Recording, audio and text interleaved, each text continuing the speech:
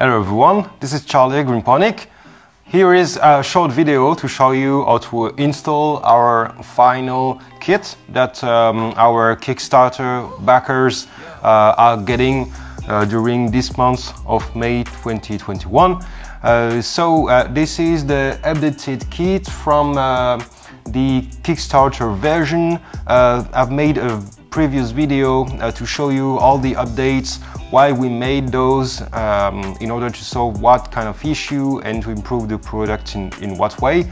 So now what I'm going to show you is the package that everybody is going to get, what's inside that package and how you install all that material because you got um, uh, quite a lot of parts uh, to deal with.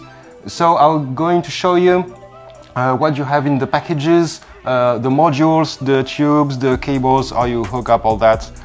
And don't hesitate to let uh, comment in uh, comment section below if you got any questions. So here is the package you are going to get when you are a backer. Uh, this is a package with multiple sub-packages. Um, we've used uh, some things, some chips like that. It's not plastic, you can put it in water and dissolve it. Don't worry about that. Uh, we, are, we have tried to use only carton board, uh, very simple stuff. And we've made some stencil to uh, make the logo uh, on the, the boxes. Very simple things uh, because we wanted to be efficient and not to make you guys wait for the thing to come to you. So the first one uh, will be the water brain. The water brain is the main module you will have in your setup. Here it is. And so uh, this guy has the main indicators right here. You got EC and pH. You've got backlights, RGB lighting that will make uh, some colors from uh, those indicators to show you the status uh, of your EC and pH. Right here you got the I.O. So uh, your power input uh, with the power socket we provide. You've got the link uh, which is a USB-C that goes to your secondary module. Uh, that, that, will be the doser, the water pump. You've got a small hole here uh, to access um, secret button. The secret switch is made to access uh, secret modules such as um, reset, factory resets, things like that, that you will see in the user manual. And here you got the sensors temperature for the water temperature. Uh, you got the EC sensor right here, on, it's a BNC, and another BNC here for pH. In, inside you have other sensors. Uh, you got the temperature and humidity sensor um, for the air and also uh, the ambient light sensor. So uh, keep in mind all the sensors you got inside is uh, good uh, for uh, climate, so you have the real temperature and humidity. Uh, for the light, you will not be able to have something crazy accurate, meaning that we will not tell you how many lumen you, ha you have, but if your light is working or not. Um, it, it will be important for later updates. And here you have uh, the vents. So you have a cooling system inside it, an air cooling system. Uh, this is the inlet and the outlet with a small fan in it. Uh, and right um, after the inlet, you got the air sensors and the light sensors. Now the second one is the water pump. So the water pump will be your dosing module. This dosing module uh, comes pre-equipped. I will put it on the floor. It comes already equipped with its harness. Uh, so this water pump has uh, four dosing pumps. Uh, the harness is equipped with um, air and water uh, pneumatic connectors that you can easily push to uh, release or uh, connect a tube just like this one. Those are six millimeters uh, outside diameter tubes and we've made it so that it's easy to intervene on the, the pump itself. So for example, if you want to check your pump head to clean, to clean all the tube, you can release by pressing here and pulling the tube, take the head away and you can open the head and see what's inside um, and uh, clean the tube itself. Put it back like this, you press you insert the tube, you're done. So uh, those connectors are a bit more expensive than what we expected uh, to use at the beginning, but uh, we think that it's better to have uh, more expensive stuff uh, to have better quality, reliability and ability to maintain uh, this module on the long term. In terms of I.O., you've got your mixed pump connector, so this is, the power, this is the power supply of the pump that will be used to push water in this harness and push it back to your water reservoir. Here is the um, link input, link outputs. So those are two USB-C ports uh, that will get the data and the power from the water brain. And if you add more modules like that, uh, you can unplug it right here and daisy chain and make water brain, water pump, water pump, water pump, for example, to add more pumps uh, in your system. That's basically it. Uh, so we got the GreenPonik brand right here. You've got uh, your hole for um, the mounting brackets. I will show you that later. And you've got some uh, switches here. So basically you are able to press each switch so that you can activate each pump independently.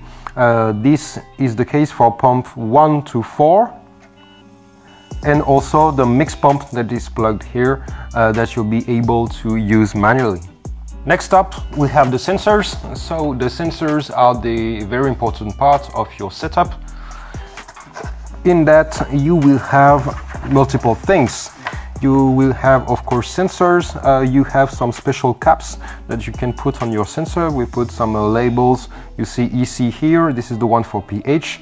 Those little container are small caps that you can put your uh, calibration liquid in it, put it on the sensor and uh, calibrate it with the app. And uh, after that, you just uh, pull it back, clean the sensor, clean the cap, and you're good to go for the calibration. We've tried to make it easy for you guys. The first sensor here is the pH sensor. So this is an industrial pH sensor that will be equipped with um, clear, uh, transparent plastic cap that will be threaded right here with some solution in it to um, keep it uh, from a lack of humidity because this kind of sensor doesn't like to be dry for a long time. This is equipped with a 5 meters cables, cable that you can put everywhere. Those sensors have a thread and we have an interface here that you will thread on the sensor so that it can be inserted in its sensor block. This is the sensor block. So if we take the EC sensor, for example, we've made a quick fitting like this. You push the sensor, you turn a bit and it's locked over. And you have the sensitive, uh, sensitive elements uh, that goes a little bit um, away from this block. Um, and here you will put the sensor, the pH sensor equipped with its interface. And this uh, part has uh, multiple, um, uh, multiple features so you have the EC and pH sensor that you can put in and you have also the input for the exterior uh, the mix pump harness um, so you will put a tube right here that goes to the mix pump and the, um, the nutrient will be injected uh, in that harness. The water will go back right here and will be ejected here, spread into uh, your uh, water tank. Uh, on the inlet, we've also put a mesh filter that you can take out and put back in after cleanup. That allows us to avoid big particles to go into the mix pump that doesn't like particles so much. Next up, we have the mix pump. So the mix pump is a big pump like that that will be put near your dosing pump. So this little guy right here will be linked to the mix pump, uh, to the water pump, sorry, um, and its job will be to uh, pump air and water from your water reservoir and push all that into your harness uh, so that it can spread um, all the nutrients mixed to the liquid into your water uh, reservoir. This pump comes with uh, two interface to change the diameters from here 10 millimeters to here 6 millimeters and we will show you how to equip all that later on. Next up is the box containing the tubes, uh, the I.O. tubes and also other kinds of I.O. Uh, for the I.O. you've got uh, first your USB-C cable. So this cable is the one that will link your water brain with your uh, water pump. And it's very important to know that we are using those kind of cables with uh, high currents uh, on this bus. And also it's not 5 volts it's 12 volts it's, it's quite high. Um, and you must not put anything plugged um, on those modules other than uh, products. Because if you plug for example a smartphone the smartphone will die instantly. It's not made for that. It's very important I will put warnings everywhere uh, for that point. and now you have the uh, wall brackets. So that those are uh, standard kitchen um, furniture wall brackets you know with some screws so, so that you can install all this everywhere uh, anywhere you want. And you've got some tubes. So you've got two, time, uh, two kind of tubes in there. Uh, you've got oh sorry You've got um, four tubes that are uh, 40 centimeters. They are going to be plugged right here on the inlet of each pump and going to be immersed on the other side uh, in your nutrients bottles. And this one is the big one that will be used to pull the water uh, from your sensor block right here to your mix pump and back into your water reservoir after that. Last but not least, you got your power brick. So the power brick is a power supply. I kept the, the ugliest box for the video, so stupid of me. Anyway, it's the 12 volt uh, 4 amp power supply uh, that will be plugged into uh, your water brain and that uh, will power the whole system. So I will show you how to plug it later on um, on the video. First, you will install the wall brackets on your wall, on your panel, whatever you will use. Make sure it's installed, you know, uh, balanced, so that when you put you both of the modules, it's, you know, quite horizontal.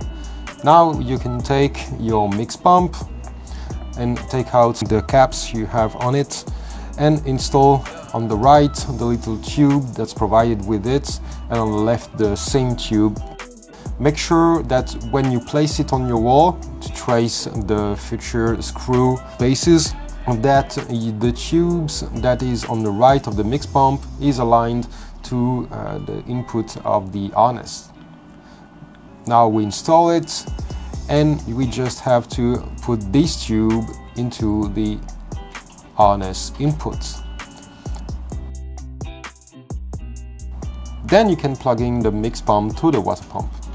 Now take the USB cable that is provided. This cable is a USB-C, you can place it in both direction. It's 2 meters, so you should have enough to plug the, both modules together. It goes on the water brain on one side and on the water pump USB-C port that is on the left. Now let's take care of our sensors. We have the pH industrial sensor right here. When it's delivered to you, it will have a transparent cap. Take it out and put this the green interface cap on the sensor. You should now be able to insert this sensor in the wall sensor block by using a quarter rotation movement. Now you will take the longest tube that was provided in the tube box and cut it in half. The cut must be very clean and 90 degrees so that you avoid any leaks. Again, please use the proper protection so you don't hurt yourself in the process.